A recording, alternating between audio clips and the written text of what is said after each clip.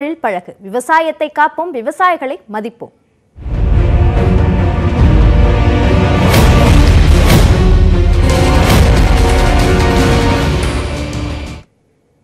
ரஜினி கமல் விஜய் என எந்த நடிகருக்கும் அரசியல் ஆசை வரவே கூடாது என கூறிய சீமானுக்கு விஜய் ரசிகர்கள் மத்தியில் கடும் எதிர்ப்பு கிளம்பியுள்ளது.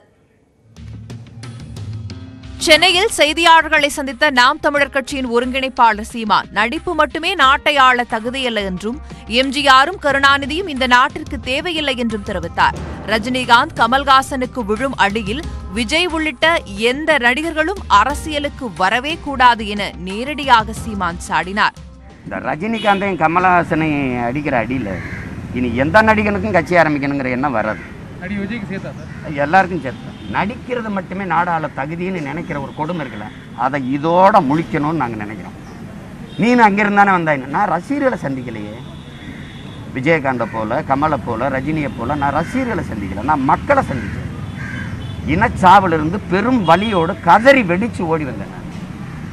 என்னை வந்து அதில் அதோடு ஒப்பிடக்கூடாது.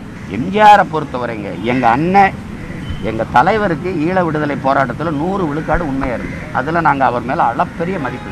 மற்றபடி அவர் என்ன சிறந்த ஆட்சி கொடுத்தாரு நீங்கள் போய் கேட்குறீங்க இந்த நாட்டில் தமிழ் வழி கல்வியை ஆங்கில வழி கல்வியாக மாற்றினது அவர் தான் கல்வி மருத்துவத்தை தனியாருக்கு தாராபாத்து கொடுத்த பெருந்தகையும் அவர் தான் முல்லை பெரியாற்று நதிநீர் உரிமை தமிழர்களுக்கு இருந்ததை அதை பா அணையை பாதுகாக்கிற உரிமையை கையெழுத்திட்டு கேரளாவுக்கு கொடுத்ததும் அவர்தான்.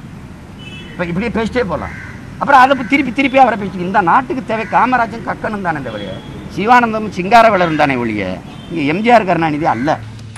சீமானின் பேச்சுக்கு எதிர்ப்பு தெரிவிக்கும் வகையில் ட்விட்டரில் டுபாக்கூர் சீமான் என்னும் ஹேஷ்டேக் ஒன்றை உருவாக்கிய விஜய் ரசிகர்கள் அதை இந்திய அளவில் ட்ரெண்ட் செய்தனர்.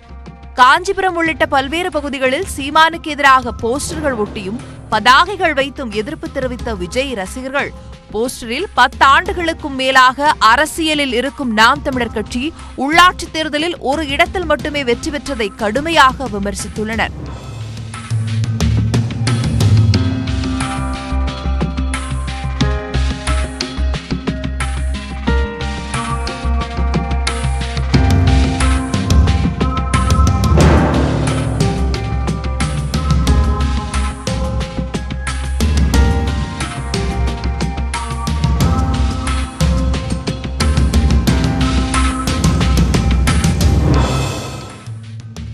விஜய் அரசியலுக்கு வந்தால் தனக்கு பின்னடைவு ஏற்படுமோ என்கிற பயத்தினாலேயே சீமான் இப்படி பேசுவதாக விஜய் ரசிகர்கள் கூறுகின்றனர். இப்போ ரஜினி அரசியலுக்கு வர வரன்னு சொல்லிட்டு இருந்தார். இப்போ அவர் வந்துட்டாரு. இப்போ தளபதி எங்க அரசியலுக்கு வந்தா இவருக்கு ஏதாவது அரசியல் பின்னாடி ஏற்படுமோ அப்படின்னு சீமான் பயப்படுறாரு. அதான் உண்மை. இது நான் தளபதி ரசிகரை நான் வன்மையாக கண்டிக்கிறேன். இதுக்கு முன்னாடி விஜய் ஆதரிச்சு இப்போ என்னோட தம்பி என்னோட தம்பின்னு பேசினவர் அவர் தான் அதுக்கப்புறம் இப்போ ஒரு கொஞ்ச நாளைக்கு முன்னாடி சிம்பு தான் என் தம்பி அவர் தான் தமிழர் அப்படி இப்படின்ட்டு அந்த மாதிரி பேசிகிட்டு இருந்தவர் தான். இதே சீமானு கமலை நான் பார்க்க வந்திருக்கேன் நான் தான் பொக்கையை கொண்டு வந்திருக்கேன் பொக்கையை கொடுத்து கமலும் நானும் சேர்ந்து கட்சி இது பண்ணுவோம் கூட்டணி வைப்போம் அப்படின்னு சொன்னவர் தான் அவர்.